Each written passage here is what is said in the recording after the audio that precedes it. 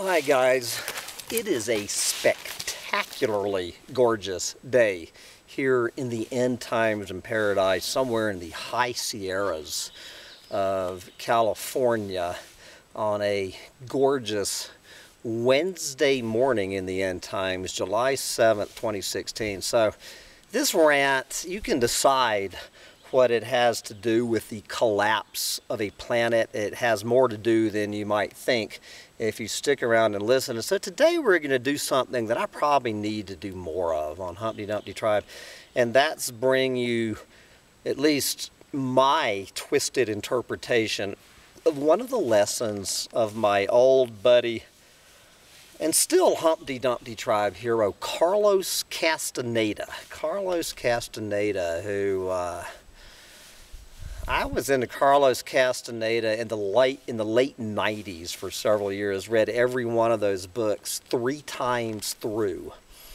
And I'm not going to get off on a side around about uh, whether Carlos Castaneda was a lion sack of shit or not. I'm just saying I still recommend that you attend to the writings of Carlos Castaneda, flawed as they may be, uh, for your own spiritual development. It is Carlos Castaneda, not quite as much as Terence McKenna, who got me sitting in this chair with my little dog. But anyway, we're going to talk about in today's rant Carlos Castaneda, uh, you know, who talked about the teachings of his his buddy uh, Don Juan Matus. And this is the lesson on petty tyrants petty tyrants coming from the book The Fire from Within. And talking about how warriors, how, how to develop your spiritual warrior skills, one of the best teachers you will ever encounter uh, along your path are petty tyrants. Now, petty tyrants and again, this is way oversimplifying. You will uh, you will need to Google petty tyrants and read "The Fire from Within" uh, to get the full grasp of, of this concept. Petty tyrants are are they come in several classifications, but but planet eaters are a, a classic case of petty tyrants. We, so I'm going to look at like like first there's your regular petty tyrant. A petty tyrant is is usually a man, but it can also be a woman. Anyone who knew my dear sweet ex-wife knows that petty tyrants can also be female.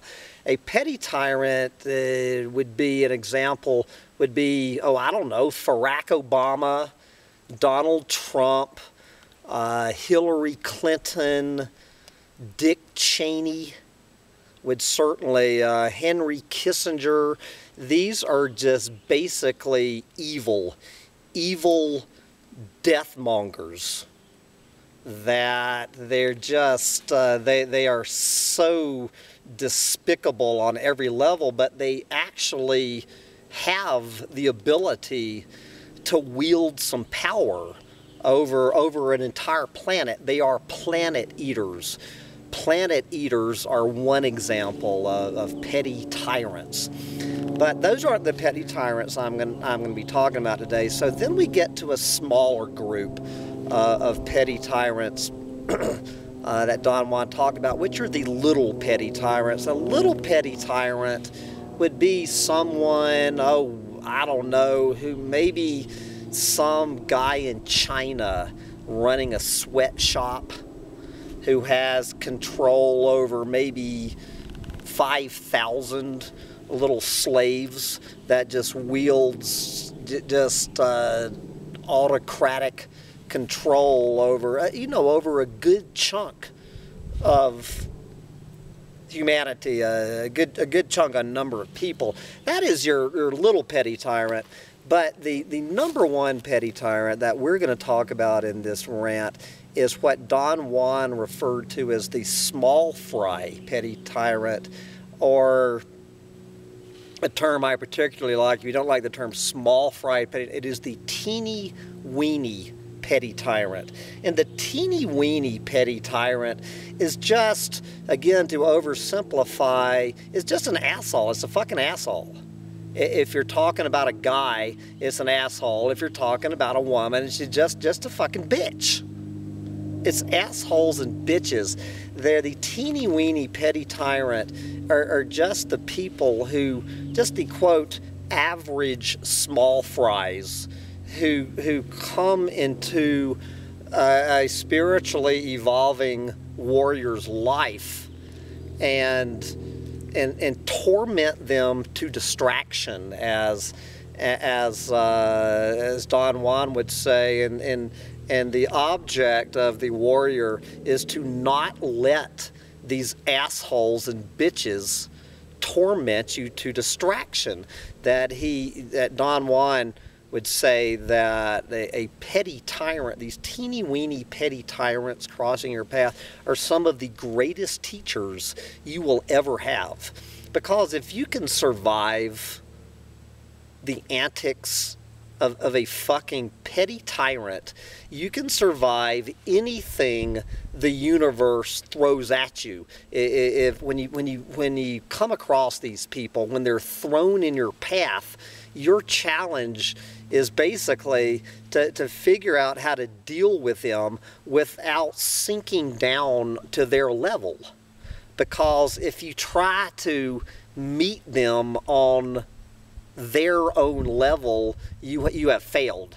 You, you have let them eat your power if, if you let them get to you. And, uh, and the way that I try to handle petty tyrants is just to avoid them. I've done a pretty good job of avoiding petty tyrants, not counting my own dear sweet ex-wife. It was a seven-year uh, test of, of a teeny weeny petty tyrant. But petty tyrants are usually come in the forms of, of authority figures, either, either like a cop, like, like some sort of cop that you deal with, which usually only tests your mettle for however long you're dealing with that fucking cop. And more likely, it's uh, uh having a boss uh, as uh, as a, a, having a petty tyrant for a boss. But at least with those petty tyrants, they do have one redeeming feature, which is the paycheck. So you're more likely to put up with a petty tyrant because at least you have a, a, a, paycheck at the end of the deal. And you better believe I have put up with some petty tyrants. Uh, I will tell you the story one day of uh, uh, of the Spuds MacKenzie episode in my life where I got a triple gold star in dealing with petty tyrants before I ever heard of uh, Carlos Castaneda, where the, the object of the of the petty tyrant is is basically to to hoist them on their own petard, let them turn their own pettiness against them. Don't, don't fight a petty tyrant by becoming petty yourself, but figure out a way, and this can take years, took three years in my case, to turn the petty tyrant's pettiness against them and let them bring themselves down. And I'll tell you that story someday. But today, what I want to talk about and, and this Don Juan never talks about. It's not so much the petty tyrants that cross your path. It's dealing with petty tyrants that cross the paths of people you love, your, your friends, family members, loved ones, when they encounter a petty tyrant and, and you watch their entire lives get destroyed by these fucking idiots. And my guess is more often than not, it, it's a woman's life.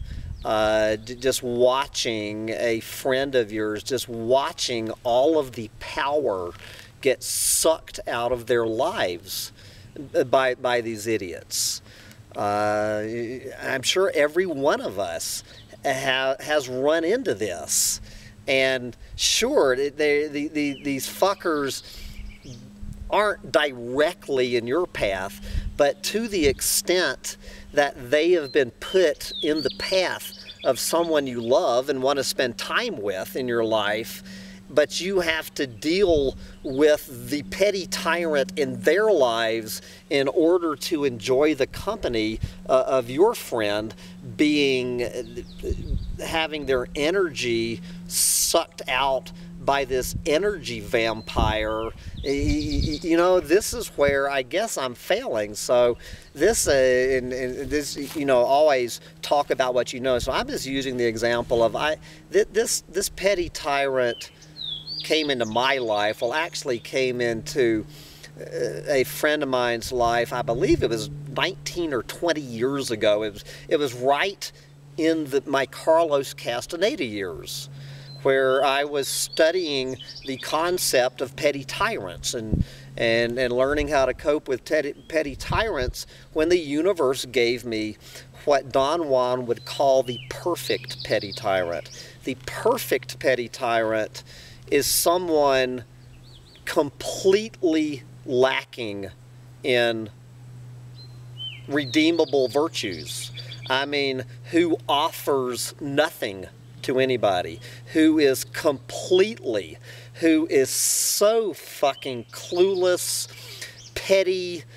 They're usually passive aggressive, would certainly be in there, uh, duplicitous, lying, thieving, cheating, sacks of shit. I mean, just completely irredeemable. That you hear this expression of useless as tits on a boar, or you might hear the expression, this guy could fuck up a wet dream.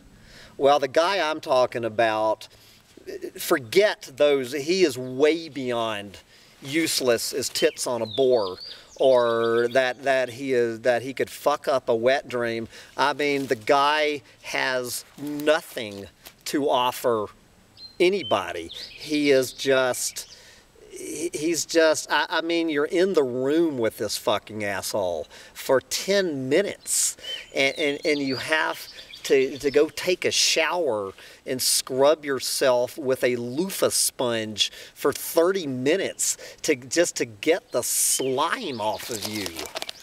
And, and, and, the guy, I mean, it would be funny. This character, on some level, is absolutely hilarious. I, I mean, he's he's a character right out of a, a, a Woody Allen movie. Uh, William Faulkner wrote about this guy, if you remember the Snopes family uh, from, from Woody Allen.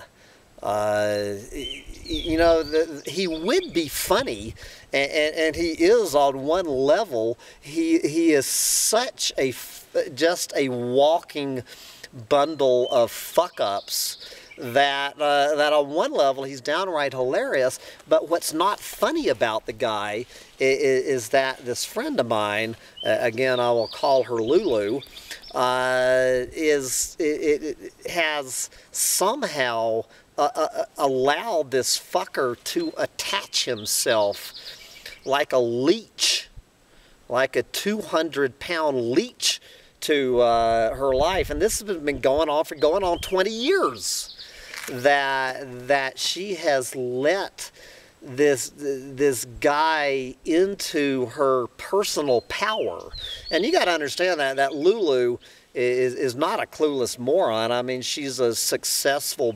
businesswoman. I mean, she's very intelligent, articulate, articulate, college educated, aware, uh, successful business person, uh, owns a nice home, uh, two or three nice homes, uh, I believe that she owns. Uh, she, on every other level, pretty much in her life, could be considered what I, I believe the term is self-actualized. That you know that that she's she she's got it together, but somehow she has this one blind spot. We all have one blind spot. Hers hers are men. Now, she's had some petty tyrants in her past who I would have called petty tyrants and, until this fucker came along in her life. And uh, so, yeah, I, you know, so here I was in the middle of my Castaneda years when this fucker comes into her life. And, and from the first time I laid eyes on this guy, I, I mean, talking about reading auras, reading the human egg, he's got this real, I would say like a diarrhea brown aura around him. He's just yuck. Like, like being in his presence is being like slathered in diarrhea is, is all I can say. And, uh, I'm, I'm just thinking in the early years, I'm, I'm talking, you know, going back to uh, the 1990s, thinking, uh, surely, surely, this shit isn't going to last. That Lulu is to pull her own brain out of her ass and, and understand uh, what this guy is doing to her. And uh, I mean, this man has lost her friends. Pretty, pretty much uh, destroyed uh, my friendship with her. Uh, he has he has destroyed her social life. He's affected her economically and financially. His bumbling around.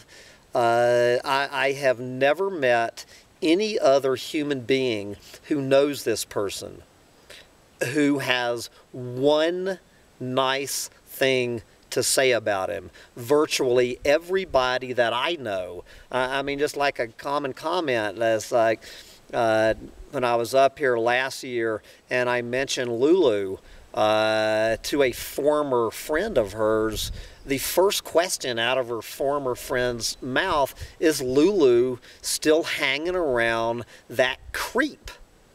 That's what he is. He's just creepy. He's just yuck. I, I mean, if, if, there, there is no newspaper account that I will be reading in a few years that uh, about some uh, some sick twisted crime being committed by this guy. That would surprise me one bit.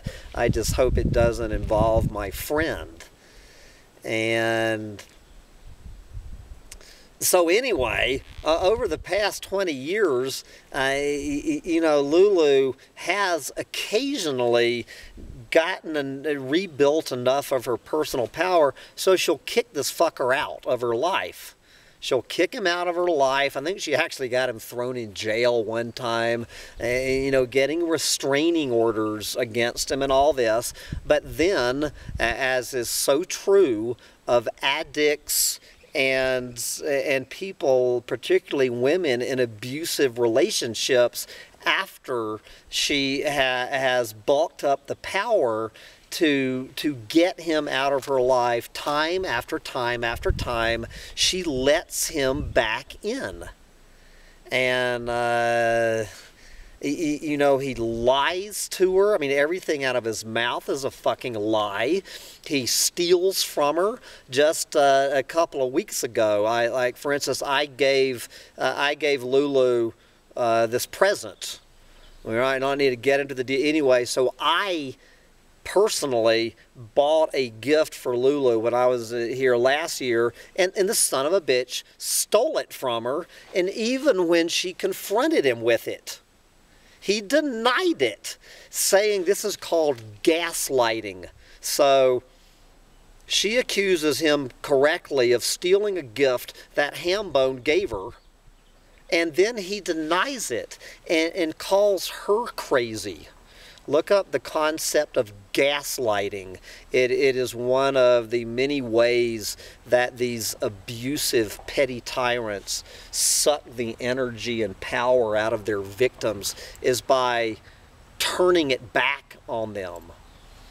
And uh, so, I, and he downright cheats on her. I mean, he goes around and, and, and just pretty much in the open fucks other women, and she takes him back and takes him back.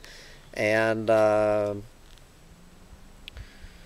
There, there's some clueless moron thinking they're going to take my campsite, I guess.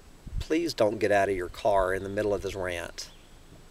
Oh my God, now I've got someone in the middle of this rant. Uh, I'm going to be leaving in about an hour. Oh, are you? Yeah, if, if you want this spot in about an hour. So, this is the last campsite on the on the trail. Yeah, that's what I've noticed, man. That's what I've noticed. Yeah. So just give me a few minutes to finish up here and pack up, and I'll. Uh, Yeah, do you mind if we just park over here somewhere? I guess not. Yeah, we're not gonna bother you or anything. All right. All right, yeah, we'll just we'll just park and explore a little bit. Right. It's really the the trail is on down. You can still drive down about a quarter mile, and the trail starts. It's beautiful down there. But there's no campsites down there, are there? Not that you can reach in that car. Yeah, exactly. Uh, That, that's our problem. But you can still drive for it anyway. Yeah. Well, you. Uh-huh. So anyway, uh, you- wh- where can you go to have a rant? So anyway, uh, so what what happened a couple of years ago with this guy? Y- y- You know, I, I've I've mentioned this to several of our common friends. You know, and over and over and over again, you know, I'm basically suggesting that we need to have some kind of intervention for Lulu that you know like like friends have with their friends on heroin. Uh, you know that we need to deprogram her. And over and over again every time i bring this up like hambone this is none of our business that lulu is going to have to see the error of her ways uh, and, and figure it out herself and so two years ago, I was out here and, and, and bumped in uh, to this to this motherfucker back in her life after I thought that that she had gotten rid of the guy. She was too chicken shit to admit that she had taken him back, and he was back in her life.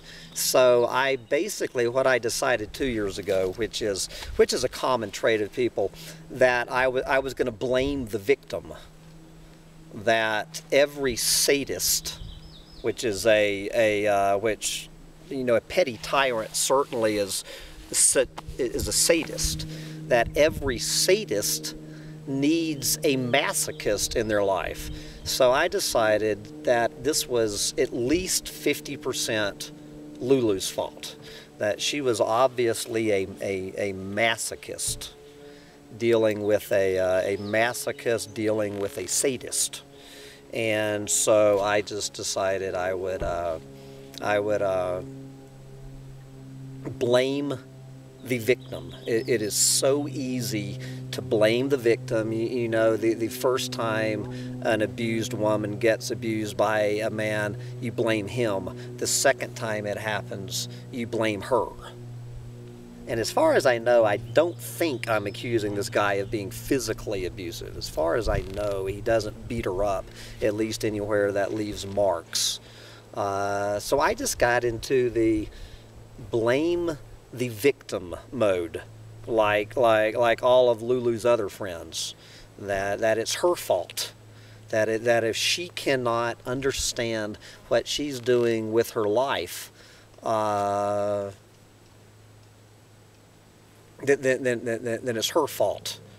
It's the masochist's fault for for putting up with the sadist, and that actually carried me through. So I came back out here last year, still in this mindset, and then what actually happened is, is this is this uh, dude, this uh, teeny weeny little petty tyrant, actually invited me to uh, help him work on his on on his cabin up here in the Sierras, not too far from here. The way he found this cabin, by the way, is he was it's one of these women that he was fucking behind Lulu's back that he met on Craigslist or no telling where. Anyway, I guess the this woman that he was that that he was uh, fucking cheating on Lulu. Uh, I guess is the one who turned him on to this cabin. So I guess she spotted a clueless moron who had more money than brains when she found him. So anyway, it, this guy went and and talking about fucking up a wet dream. He went and dumped like fifty thousand dollars into this tumble down, abandoned old shack on, on, the side of a busy road up here in the Sierras. I, I mean, oh hush, yeah, you you, you talk. This is him talking about Clueless Orange.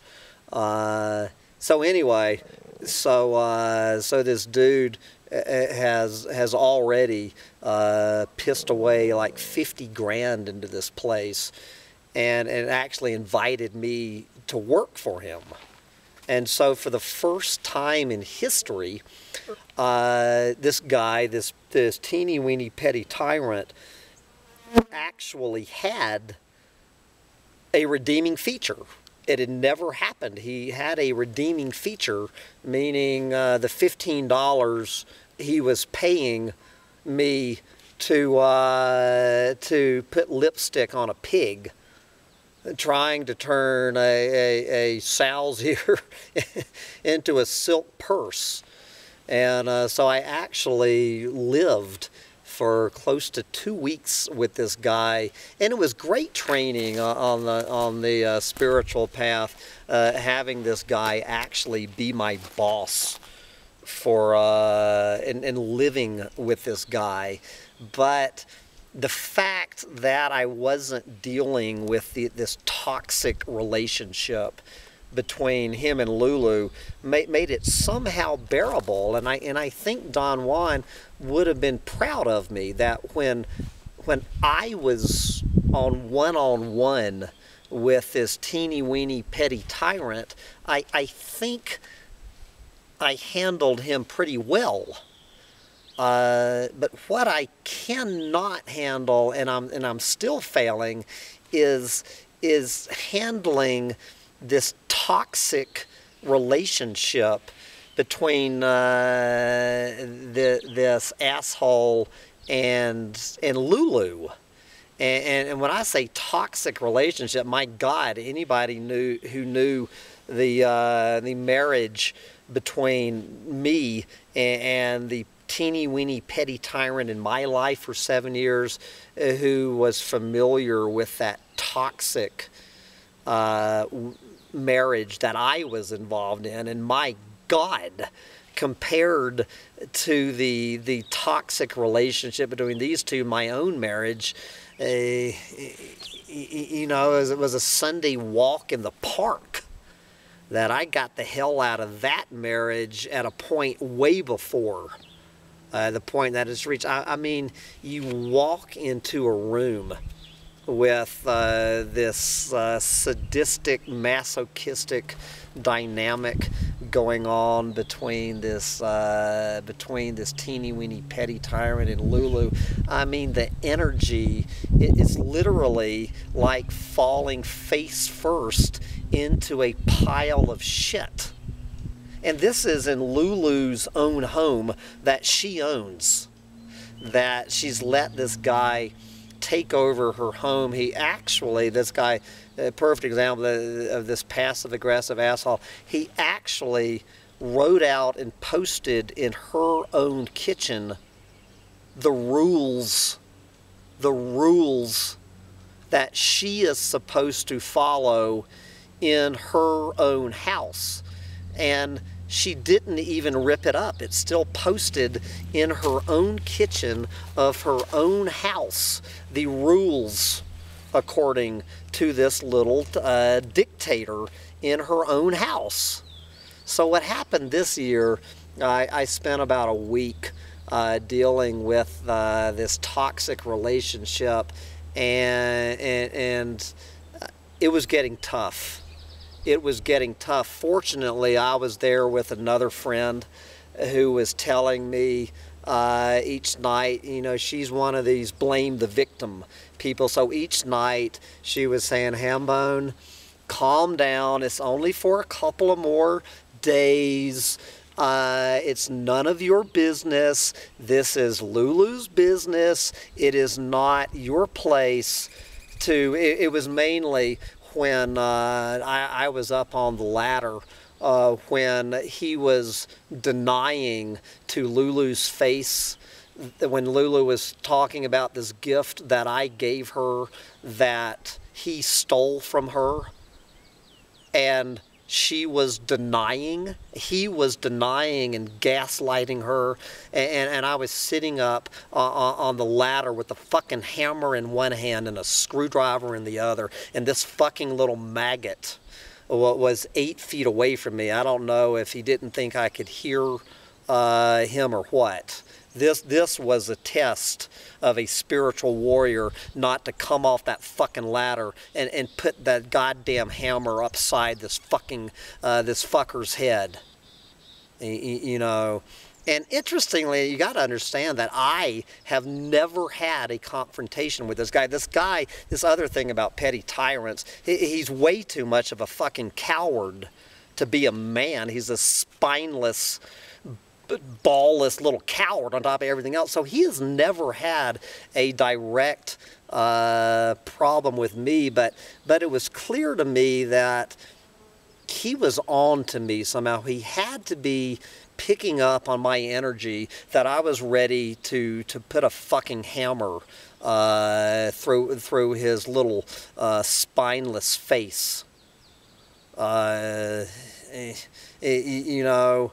And so somehow he picked up, so he waited for me to leave. So right when we were leaving, because I was still thinking maybe that I could get a re- redeemable uh, feature out of this guy and, and maybe make some more money out of this clueless moron pouring more money in, into this uh, money pit, little uh, hovel up in the mountains that he had bought. And I noticed that it wasn't going to happen. And so, right when I was leaving, I basically confirmed that with him that there was going to be no money. And so, we're, we're about an hour away.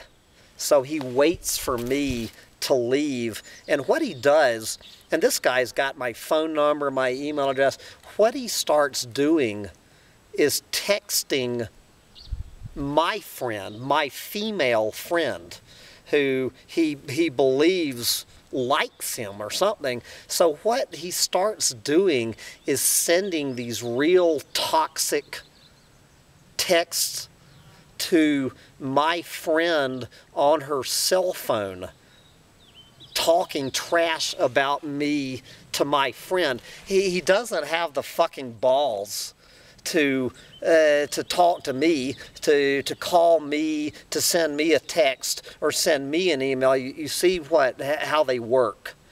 Since he's too much of a fucking coward to, to, to confront me man to man, what he starts doing is trying to is trying to draw my other female friends into his little web of diarrhea drama, uh, the, these these little dramas uh, about what a fucking asshole I am, trying to poison me uh, with my friend. And don't don't worry, my friend is way uh, too spiritually evolved. I mean, of course, she just laughed this off. And, and, and, of course, I can only imagine what Lulu uh, was suffering after I was out of the scene when they got back together, the, the amount of trash talking uh, that, that, that this fucker unleashed on Lulu, judging by these toxic little texts that, that he was sending to my friend, who, who for the record, despises him as much as anybody ever. I mean, the guy just grosses her out. But since my friend is a is a little more spiritually evolved than I am, and she's not a friend of Lulu's, so this guy means absolutely nothing to her. Uh, there's nothing, uh, you know. Uh, so here I sit. So I just, you know, after this little event, so a few days ago, I just sent an email to Lulu saying, you know, basically, for all intents and purposes, as long as she is involved with this, that the friendship is over. That watching her being destroyed on on every level, on as I say, maybe he's not physically beating her, but watching her just being emotionally, psychologically, mentally, and above all, spiritually, uh, just, just having her energy sucked out by this vampire that I'm done with the friendship. And it pisses me off that I have to be put in the position by this teeny weeny little petty tyrant that, that I have to, and I've been friends with this woman uh, since 1986, so it's 30 years that I have to end a 30 year friendship with someone who is who is very important to me in my life simply because uh, I, uh, I'm you know, I'm afraid that the next time I see this little, uh, th this little irredeemable little fuckwad, that I'm not going to put a fucking hammer uh, through his face. You know? So I guess on that level, uh, while I while I'm I'm I'm succeeding on the spiritual path pretty well. I do a pretty good job of dealing with petty tyrants. I don't know what to do about this. Don Juan uh, never talks about this. I have no advice from him. All of the advice is how do you do deal with one in your path? Well, he's not exactly in my path. Uh, so my two choices are either to continue with the friendship and deal with him as an aspect of the friendship or in the friendship until she gets it through her fucking clueless mind uh, uh about, about what, the, what this fucker is doing to her. And uh, so anyway, if anybody has any advice. I am, this is your old uh, spiritual warrior seeking advice from other people who have dealt with this successfully. If anyone listening to this rant has been through this in their own lifetime, watching a uh, one of these teeny weeny petty tyrants destroy the life uh, uh, of one of their friends or loved ones, how did you deal with it? Because I've tried for 20 years to deal with this friendship with this with, with this guy and uh, and and while I've done an okay job, uh, I, I've reached the end of it. As I told her, I'm done with him.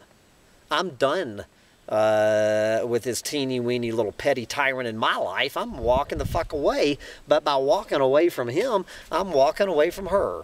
So uh, send me your advice, and I would greatly appreciate it as we all work together to become spiritual warriors. But with that, I've got to wrap up today's Carlos Castaneda Don Juan lesson about teeny weeny petty tyrants and uh, I'm going to go take a walk through the woods and head off to a hot spring as your old doomsday tourist uh,